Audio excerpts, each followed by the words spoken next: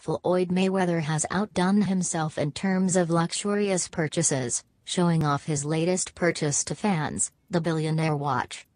The jaw-dropping watch, designed by Jacob & Co., cost the former boxing champ $18 million, no, not billion, and is made of 18-karat white gold, 260 carats of emerald-cut diamonds and individual stones up to 3 carats.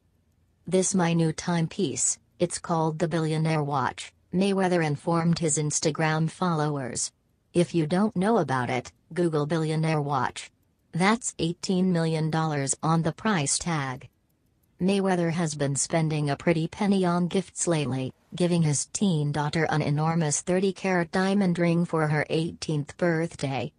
However, lucky for Mayweather, he's also been on the receiving end of such gifts.